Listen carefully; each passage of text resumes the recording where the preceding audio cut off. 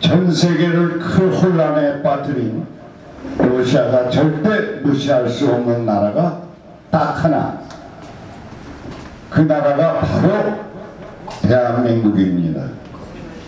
러시아는 한국서 빌려준 돈 대신 무기로 갚는 붉은 사업을 추진하고 있었는데 최근에는 과거의 조선의 땅이었던 두만강 하구의 섬 독둔도를 돌려주고 한국의 핵무기를 주어 붉은 사업에 붉은 사업에 청산하겠다는 의사를 밝혀 세계가 놀라고 있습니다. 여러분 모르는 사실이고 저도 몰랐습니다. 푸틴의 이원장에는 연해주를 한국에 편입시켜 모든 사업을 한국과 협력하여 나라를 재건하라는 것이 포함되어 있어 얼마 전 연해주 주지사가 한국에 다녀가기도 했었습니다.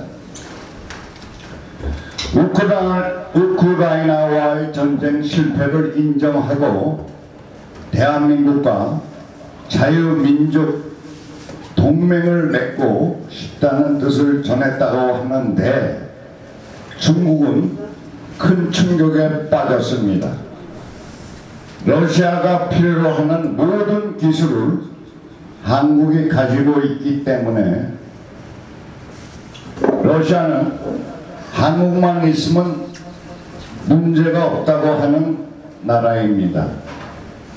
얼마 전 유튜브에는 중국몽, 세계몽이란 제목의 동영상이 올라온 적이 있었는데 중국몽은 세계의 몽을 이길 수 없다는 내용이었습니다.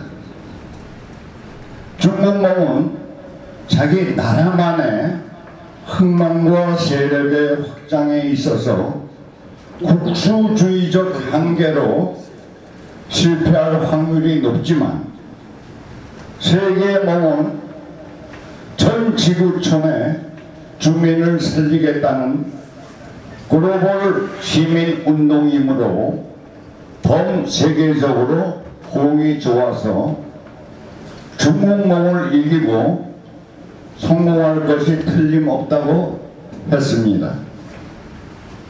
그런데 이 세계몽은 주역이 누구이겠습니까? 질문에 하나같이 대한민국이라고 입을 모으고 있으니 놀라운 일입니다. 아프리카는 한국이 식량 준선에 대한 농법을 가르쳐 주어서 기아로 죽어가던 수많은 사람들이 살 수 있게 되었으며 이 은혜를 보답하겠다는 나라들이 하나둘 아닙니다.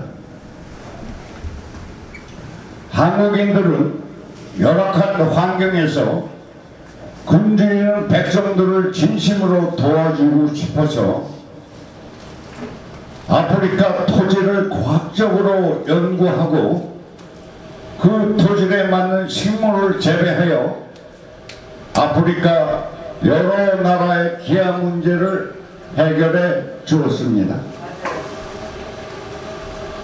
그 과정에서 물이 부족한 아프리카에 우물을 파서 정수해 식수와 농업 용수로 쓰게 했을 뿐만 아니라 학교와 의료 시설을 세워 건강하게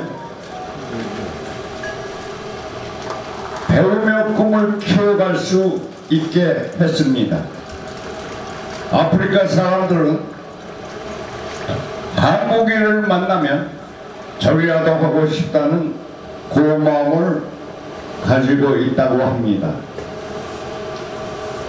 루안다의 폴 카티에는 모든 것을 한국처럼 바꾸겠다며 한국처럼 되자고 말해 대통령이 된 사람입니다. 몽골이나 사막지대인 중동은 어떻습니까? 중동은 몽골에 거쳐 있는